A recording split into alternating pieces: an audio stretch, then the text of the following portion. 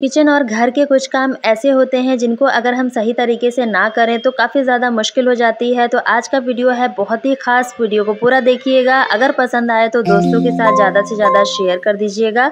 और चैनल पे पहली बार आए हो तो सब्सक्राइब कर दीजिएगा। बेल आइकन को ऑन कर दीजिएगा। ताकि मेरे अगले वीडियो का नोटिफिकेशन आप तक सबसे पहले पहुँच सके। तो चलिए वीडियो को शुरू करते हैं। तो मेरा पहला टिप है ड्राई फ्रूट के पैकेट को लेकर। जब भी हम ड्राई फ्रूट लाते हैं तो इस तरीके से पैकेट में ही होता है। ऊपर जिपलॉक लगा होता है। तो मैंने इसको जब ओपन किया तो क्या हुआ कि इसका जिपलॉक ख़राब हो गया। अब हम इसको या तो किसी कंटेनर में रखें। अगर इसमें ही हमें रखना है तो इसका जिपलॉक तो ख़राब हो गया हम कैसे इसमें रखें? तो हमें क्या करना है हमें एक सीज़र ले लेना है और सीज़र की हेल्प से जो ये ऊपर वाला पार्ट है ना, इसको हमें कट करना है। तो इस तरीके से देखिए, हमने कट कर लिया है। अब हमें पैकेट को फोल्ड कर देना है और ये जो एक्स्ट्रा पार्ट है, इसको भी हमें हटा देना है। फोल्ड करने के बाद जो हमने ये ऊपर स्ट्रिप कट की है, ऊपर वाली, इसको हमें इसी पैकेट में फंसा देना है। तो इस तरीके से हमें किसी भी इलास्टिक वगैरह की ज़रूरत भी नहीं पड़ेगी और हमारा पैकेट भी सील हो जाएगा। तो आई होप आपको ये टिप पसंद आया होगा। तो चलते हैं अपने नेक्स्ट टिप की तरफ़। नेक्स्ट टिप हमारा इस तरीके की कढ़ाई को लेकर है। जब भी हम किसी चीज़ को कढ़ाई में बेक करते हैं तो इस तरीके के स्टैंड को रखते हैं और नीचे नमक या फिर पानी डालते हैं। अगर ये स्टैंड नहीं है तो आप कैसे किसी चीज़ को बेक करोगे? तो वो मैं आपको तरीका बताने वाली हूँ। तो आपको क्या करना है? स्पून ले लेने हैं। ये स्पून हम सभी के घर में होते हैं और इनको हमें क्या करना है? इस तरीके से जो कढ़ाई का तली है, इसमें हमें लगा देना है इस तरीके से। चारों तरफ़ फैला के लगाना है और इस तरीके से लगाने के बाद आप इस पर जो भी अपना बैटर रखना चाहोगे आराम से आ जाएगा। अगर स्टैंड नहीं है तो इस तरीके से आप रख सकते हो। तो देखिए मैं आपको प्लेट रख के दिखा रही हूँ। तो जब भी आपको नेक्स्ट टाइम बेक करना है कुछ भी कढ़ाई में तो आप इस टिप को फॉलो करके आराम से कर सकते हो। तो ये टिप आप तभी फॉलो कीजिएगा जब आपके पास स्टैंड ना हो। तो आई होप आपको ये टिप पसंद आया होगा। अगर पसंद आया है तो एक लाइक ज़रूर कर दीजिएगा। मेरा अगला टिप है मसालों को लेकर। तो यहाँ पर मैंने कश्मीरी मिर्च ली है और कश्मीरी मिर्च हम बहुत ही कम यूज़ करते हैं और बहुत ही जल्दी ख़राब होती है। इसके ऊपर जो आप ये स्लिप देख रहे हो, ये मैंने इसकी एक्सपायरी डेट लगा रखी है। अगर आपको इसका वीडियो चाहिए तो आप चैनल पर जाके देख सकते हो। मैंने ऑलरेडी अपलोड कर रखा है। तो हम बात करने वाले हैं कि इसको हम ख़राब होने से कैसे बचाएँ। तो इसके लिए आपको क्या करना है, कोई भी कुकिंग ऑयल ले लेना है और इस तरीके से स्पून में लेंगे तो इसको मिक्स करना बहुत आसान हो जाता है। इस ऑयल को हमें इसके अंदर डाल देना है। और अच्छे से हमें इसको मिक्स करना है नीचे तक, ताकि पूरे मसाले में अच्छे से ऑयल जो है मिक्स हो जाए। इस तरीके से जब आप किसी भी मसाले में ऑयल को डाल के रखोगे ना तो बिल्कुल भी ये ख़राब नहीं होगा, काफ़ी लंबे समय तक चल जाएगा। बस आपको इसकी एक्सपायरी डेट ध्यान देनी है। तो हल्दी पाउडर या फिर धनिया पाउडर आप किसी में भी इसको फॉलो कर सकते हो। तो चलते हैं अपने नेक्स्ट टिप की तरफ़। नेक्स्ट है हमारा सुई में धागा डालने को लेकर। तो कभी कभी हमें सुई में धागा डालना होता है और बड़ी सुई में तो आराम से पड़ जाता है, लेकिन जब छोटी सुई में धागा डालने की बारी आती है ना तो बहुत ही मुश्किल हो जाता है और हमारा काफ़ी सारा समय वेस्ट हो जाता है। तो इसके लिए मैंने ऑलरेडी चैनल पे वीडियो अपलोड कर रखा है, उसमें मैंने डिफरेंट तरीके से बताया है। अगर आपको देखना है तो आप चैनल पर जाके देख सकते हो। तो आज मैं बहुत ही डिफरेंट तरीका शेयर करने वाली हूँ, जिससे आप मिनटों में सुई में धागा डाल पाओगे, वो भी छोटी से छोटी सुई में। तो इसके लिए हमें कॉइन ले लेने हैं।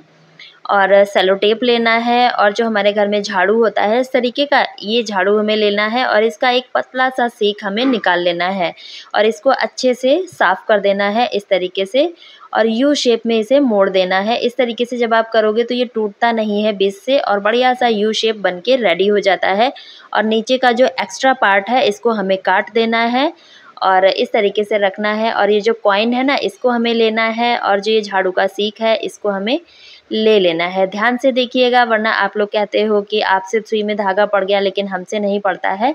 तो आप जब ध्यान से देखोगे, तभी आपको समझ आएगा और इस तरीके से हमें रखना है दूसरे कॉइन को इसके ऊपर और बीच में हमें झाड़ू की सेक को रख लेना है यू शेप में मोड़कर। और इसके बाद जो ये सेलो टेप है ना, इससे हमें अच्छे से इसको सेट कर देना है ताकि बिल्कुल भी ये स्लिप ना हो। और इस तरीके से सेट करने के बाद सेलो टिप को हमें हटा देना है। अब ये हमारा बहुत ही बढ़िया जुगाड़ू टिप बन के रेडी हो गया है। तो इसको हमें इस तरीके से दबा देना है थोड़ा सा ताकि ये थोड़ा सा पतला हो जाए, सुई के अंदर आ सके। तो अब हमें पहले धागा नहीं लेना है, पहले हमें लेना है सुई। तो आप देख सकते हो कि कितना छोटा सुई है, अच्छे से उठाने से भी नहीं आ रहा है, क्योंकि नेल्स बहुत ही छोटे हैं। तो यहाँ पर मैंने सुई ले ली है और इसको हमें डालना है इस झाड़ू की सीख में।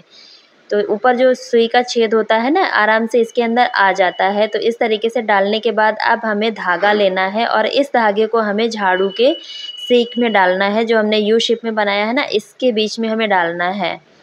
इस तरीके से आराम से हो जाता है और डालने के बाद इसको इस तरीके से डबल कर देना है और अब हमें जो सुई है ना, इसको हमें बाहर की तरफ़ खींचना है इस तरीके से।